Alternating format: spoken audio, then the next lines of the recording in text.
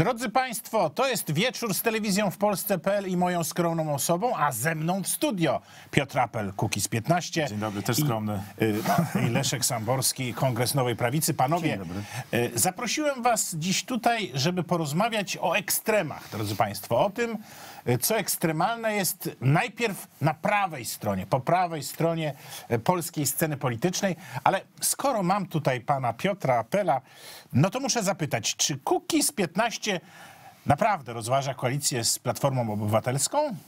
My rozważamy y, taką opcję, żeby obywatelom służyć najlepiej. Jeżeli czysto teoretycznie Platforma Obywatelska postanowi wprowadzić bardzo rygorystyczne, antykorupcyjne, antysitwowe y, y, rozwiązanie, które proponuje Kukiz 15, jeżeli wprowadzi zmianę ordynacji, zlikwiduje próg frekwencyjny przy referendach, y, doprowadzi do tego, że referenda będą wiążące. możemy się Czyli cała litania, tak? cała litania y, naszych postulatów, no to dlaczego, dlaczego nie? Znaczy, to, to jestem pewien, że państwo, y, w które byśmy prowadzili sędziów pokoju, bezprogowe referendum, jednomandatowe okręgi wyborcze oraz te wszystkie zapisy antykorupcyjne i antysitwowe, no to będzie, niezależnie od kogo będzie, kto będzie rządzić, to będzie bezpieczne. Czy nie lepszym kierunkiem dla was byłaby koalicja z Ruchem Narodowym, Korwinem?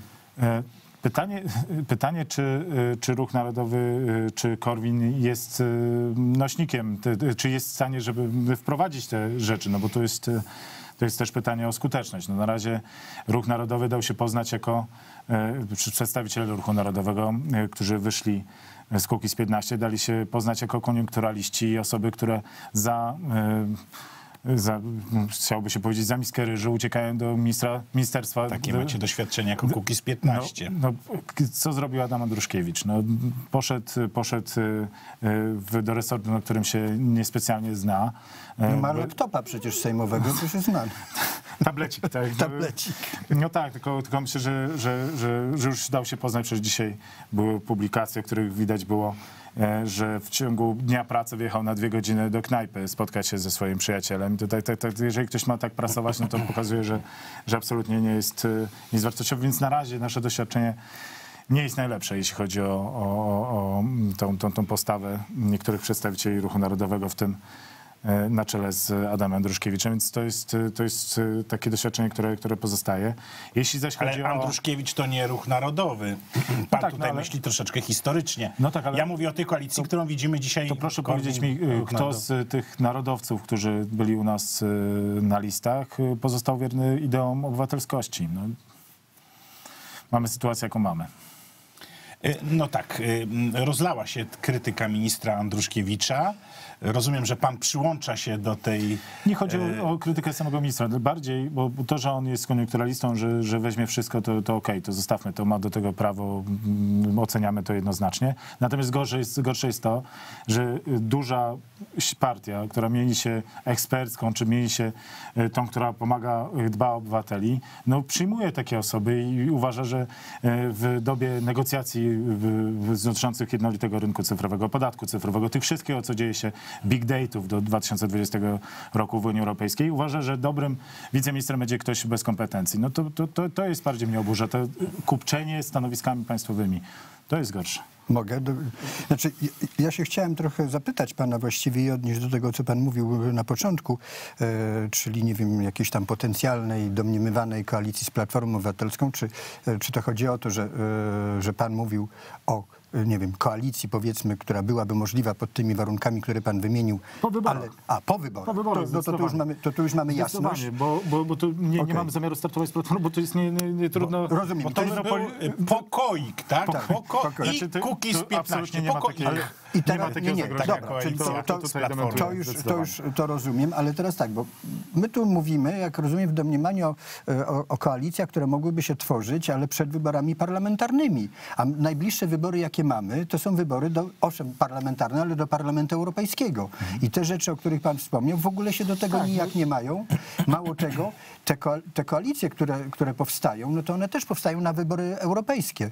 Yy, To jest zupełnie, zupełnie inna zabawa i chodzi o, o coś zupełnie innego. Co się stanie, nie wiem, we wrześniu czy w październiku e, tego roku, to jest, to jest kolejna rzecz. Tak, tylko że my jesteśmy, jesteśmy ugrupowaniem, które otwarcie mówi, y, jak, co chce i jak będzie wyglądać nasza sytuacja po wyborach. Mówimy, że, że po wyborach parlamentarnych do Parlamentu Krajowego Mhm. e, naszym marzeniem jest bycie językiem uwagi, żeby nikt nie mógł bez nas rządzić i doprowadzić do sytuacji e, czystego, czystego, czystych, e, no jak najbardziej czystych. Znaczy mówimy naszym wyborcom, jeżeli chcecie, żeby to było zrealizowane, głosujcie na nas. My doprowadzimy do sytuacji, że nikt bez wprowadzenia tych rzeczy Na ale razie nie będzie mógł rządzić. 6%, więc y, ale szanse to na jest- to, że będziecie języczkiem uwagi nie są zbyt duże. Proszę Ale to jest, pozwolić zależy od wyborców, a nie, a nie od nas. No, Na jeszcze jedną rzecz. Państwo w tej chwili oczywiście, bo nikt nie był języczkiem uwagi, czy nie jest języczkiem uwagi w, w tej kadencji, bo PiS ma większość nie ma o czym gadać. tak. Chyba, że wewnętrzni koalicjanci PiSu, e, czyli tam, Zjednoczony- jak się to, tak, tak, jakieś- Zjednoczonej pra- Prawicy, tak, e, to oni są tam języczkami to, e, wielkimi. Natomiast Powiem tak, bo to taka moja obserwacja e, z, te, e, z, tej, z tej kadencji. Państwo nic nie zrobiliście, żeby w nowej kadencji w ogóle próbować być takim języczkiem uwagi. Przecież ja was nazwałem, przepraszam, ale nazwałem was partią jedna trzecia. Jedna trzecia za, jedna trzecia przeciw, jedna trzecia się wstrzymuje. Tak e, głosowaliście. Jeżeli dzisiaj pan Kukiz przedstawia jakieś wyniki, że w jakichś głosowaniach on głosował inaczej niż PiS na przykład, to ja się zgadzam, on głosował inaczej, ale pan na przykład głosował jeszcze inaczej, a jeszcze inny kolega głosował jeszcze inaczej. Tak się zachowywaliście. W jaki sposób chcecie być dzisiaj powiedzieć Polakom, że w następnej kadencji to my już będziemy języczkiem uwagi. Przy tej konstrukcji, jak jest skonstruowany Kukiz 15, e, nie ma na to najmniejszych szans, dlatego że jesteście konglomeratem różnych poglądów. No to często sprzecznych. wzięty Tutaj- do wypieku, panie Piotrze, troszeczkę. Jeśli, jeśli mogę, no naprawdę są rzeczy, które, y, które pozostawiają i po, powinny pozostać w kwestii wyborów indywidualnych.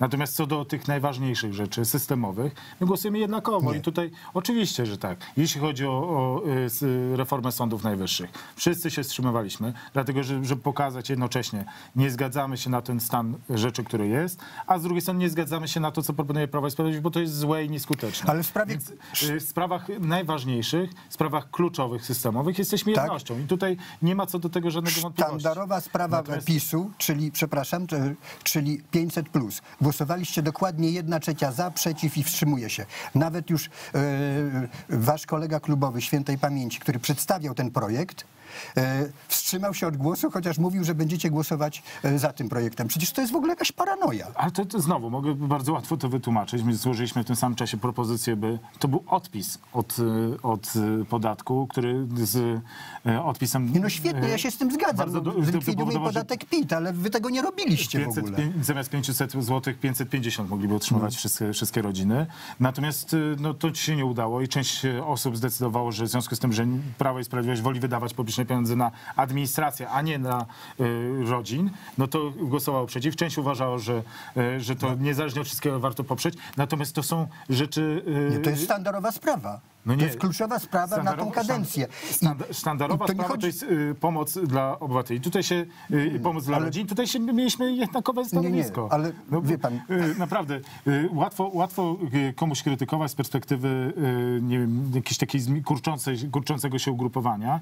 Natomiast najważniejsze, najtrudniejsze i najpiękniejsze w Kukiz 15 jest właśnie ta wolność, którą daje Paweł Kukiz. Wolność, której możemy być odpowiedzialni sami y, Ale za, to za nie, nasze jest, to nie jest wolność, bo z wolnością związana jest odpowiedzialność. Państwo zachowywaliście się Ale przez całą kadencję nieodpowiedzialnie. No, głosowanie, głosowanie w sztandarowych sprawach bez e, przyjęcia jakiejś, No, e, jakiegoś kryterium własnego, czyli jedna trzecia, jedna trzecia, To żeby rozumiem, że- powtórzyć, że- to jest nieodpowiedzialne. Że dla pana bliższe jest stanowisko, że przychodzi lider i ma, mówi, macie Nie, nie, siedzieć proszę cicho pana. i... Nie, to Ja nie myślę, jest że to nie jest nieodpowiedzialność, To jest y, nieprzewidywalność. No nie, nieprzewidywalność, Nie, ale brak bardzo odpowiedzialności. Bo, bo nie, nie można brać odpowiedzialności za państwo, jeżeli się tak zachowuje. Bo jakbyście, nie daj Boże, przejęli władzę w państwie, to, je- to na co wyborcy mogliby liczyć? Że co wy zrobicie z Powiem Polską? Panu, panu na czym? Na tym, że będzie dyskusja, merytoryczna dyskusja nad projektami ustaw, a nie przepychanie czegoś w 3 sekundy bez szukania dobrego rozwiązania. dyskusja nabrała rumieńców, Ale ja a tylko ja- skończę, bo przepychanie, tak jak y, pan mówi, że wszyscy głosują za i nikt nie, nie dyskutuje i nikt nie nie rozmawia, chodzi. nikt nie daje Nie. wolności. Rozmawia się w klubie. Że tworzymy bzdurne prawo w 30 y, sekund. Mamy teraz nadmiar prołożenia prawa. Ja bym chciał, żeby przychodziło tyle ustaw, jak w Stanach Zjednoczonych, czy kilkanaście y, ramowych Zgoda, ustaw, dużych, zgoda, ważnych, dobrze opracowanych, w których będziemy się kłócić wewnętrznie, w których będziemy szukać rozwiązań, w których będziemy nawet głosować inaczej. Ale wy nie macie ostatecznie- wizji państwa. Jak nie mamy? Nie ma, jaką? Jakiej nie- nie wolność, mamy? wolność, która nie jest wolnością. Bo, bo nie jest powiązana z odpowiedzialnością. To Ale jest właśnie to jest odpowiedzialność, dyskusja, umiejętność dyskutowania, a nie decydowania lidera. Właśnie y, jesteśmy doskonałym przykładem, że można, można działać razem i dyskutować. No wie pan, że, czy Naprawdę. można działać razem, to ja nie wiem, bo już No, że- połowy jeżeli- co najmniej klubu waszego nie ma, więc nie można działać razem. bo nie każdy tych jest, y- nie, nie, nie, nie, nie. Okazuje się, że ta formuła nie pozwala na to, e, żeby można było funkcjonować sensownie w parlamencie. Na, naprawdę, to, to, y, y, jeszcze raz mówię, jaki jest mechanizm. Może pan, y, pan, pan to zrozumie. Y, Będzie chciał zrozumieć.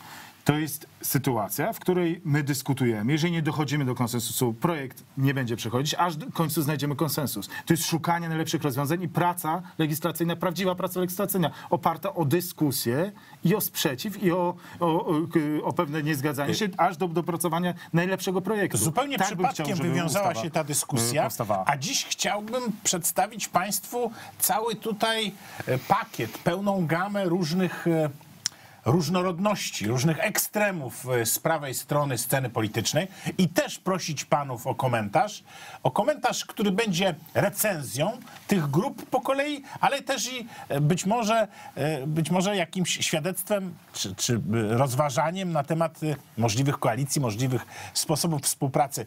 Panowie, ekstrema prawicowe, bardzo ciekawie tutaj panowie się potykali w sprawie Kukiz 15. E, e, Rozumiem, że... Każdy lubi wolność, nie każdy lubi dyskusję. Niektórzy pozostają- wolą, wolą rozumiem, Ale ta, ta, ale o- ta o- dyskusja osobę, no. była ciekawa i na pewno dała wybór, widzom pogląd wybór. na temat, y, mm, na temat sprawy, o którą, o którą Państwo tutaj zażarcie walczyli. Ale zobaczmy fragment filmowy i odniesiemy za, za chwileczkę się do niego. Y, No mówiąc, mówiąc o tym, y, y, z czym, z czym to się je i, jak należy się ustosunkować. Będąc y, polityczną siłą w polskim parlamencie, no do takiego ruchu proszę o pierwsze wideo. Otwieram rozprawę przed Trybunałem Konstytucyjnym.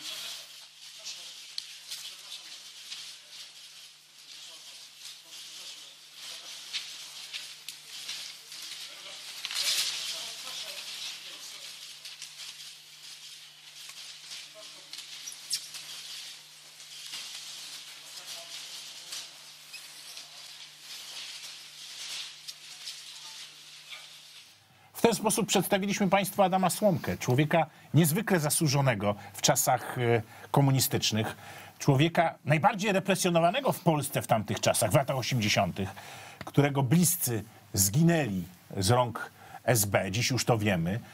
To polityk Konfederacji Polski Niepodległej, organizacji zawiązanej przez Leszka Moczulskiego w 79 roku. Działał aż do lat 90., był nawet w polskim parlamencie, no ale potem coś się z nim e, stało, coś się z nim, coś się w nim złamało. Przeszedł do takiej bardzo zdecydowanej, nieparlamentarnej, powiedzielibyśmy ekstremistycznej opozycji, która maksymalizowała swoje oczekiwania wobec dekomunizacji Polski. Adam Słomka ma wokół siebie pewne środowisko. Czy uważacie panowie, bo niektórzy tak to recenzują, że to już jest obłęd, że w ten sposób nie można e, oczekiwać tak dalekich mm, sposobów dekomunizowania, tak, tak, tak mocnego zdekomunizowania Polski, jakie postuluje tutaj pan Słomka, wymienienia sędziów, s- traktowania osób, y, które były w opozycji antykomunistycznej w zupełnie inny sposób, jako dziś bohaterów, weteranów y, z innymi przywilejami. Czy uważacie panowie, że ta droga to już jest, y, jak mówią niektórzy, y, obłęd, czy to jest jeszcze byt, który należy dostrzec i można by y, z nim podjąć jakąś współpracę? Mówimy o środowisku pana Adama Słomki, tak mocno występującego Adama Słomki w sprawie dekomunizacji sądów i ostatnio broniącego pana Miernika, który, który, który znalazł się w, więzieniu, no w jakiś sposób nieładny zachował się wcześniej wobec sędziego. Panie Kwestia Piotrze, tortu. Znaczy to jest y, kwestia y, przede wszystkim postulatów, które y, głosi ta grupa. Ona jest, y, warto dostrzec te postulaty, mówiąc o dekomunizacji sądu. Y, Pan mówił, redaktor przed chwilą o takim skrajnym dekomunizacji, ale w przypadku sądów nie było żadnej, więc y, y, przynajmniej częściowo warto byłoby przeprowadzić. Kukiz 15 ma oczywiście na to pomysł i zgadzamy się, bo przedyskutowaliśmy to mocno i zgadzamy się wszyscy co do tego, że w Polsce trzeba prowadzić instytucję sędziów pokoju i to będzie naturalna wymiana e, sędziów i naturalne, e, naturalne takie mm, e, być podlegać naturalnej kontroli społecznej, y, sędziowie będą podlegać naturalnej y, kontroli społecznej. Więc w kontekście pewnych takich y, idei czy postulatów, które oni głoszą, są warci obserwowania niewątpliwie i, i warto ich słuchać, warto dostrzegać te patologie, na które oni zwracają uwagę i, tyle. I to jest, to, jest, to jest cenne. Czy pan uważa, że pan Słomka, no tak jak pan Piotr stwierdził, Ale jest Biernik, godny pan- pan tutaj ma wysłuchania? naprawdę dużo, dużo ciekawego do powiedzenia dotyczących sądu. sądu. To jest, No y, właśnie, bo- no warto, warto, no. warto po, posłuchać. I Prawo i Sprawiedliwość z pewnym dystansem, no i oczywiście Platforma Obywatelska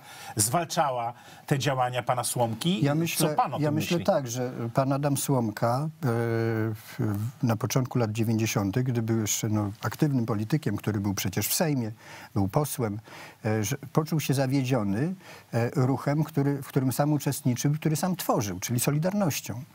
On się poczuł e, zawiedziony tym, zobaczył, że jego koledzy Trudno mówić o Solidarności, y, może nie Znaczy tyle w Solidarnością, co tą opozycją, która Tą opozycją. objęła władzę, przejęła władzę po roku każdym razie- 89. Opozycją w cudzysłowie. Tak, ale ona wyrosła, ale tak. ona wyrosła jednak e, z tego pniaka Solidarności. stopniu, no. w pewnym stopniu. E, I on się poczuł tym zawiedziony. Tak mi się wydaje, że ci jego koledzy, z którymi razem e, wcześniej walczył, e, okazali się, że oni zapomnieli, o co walczyli.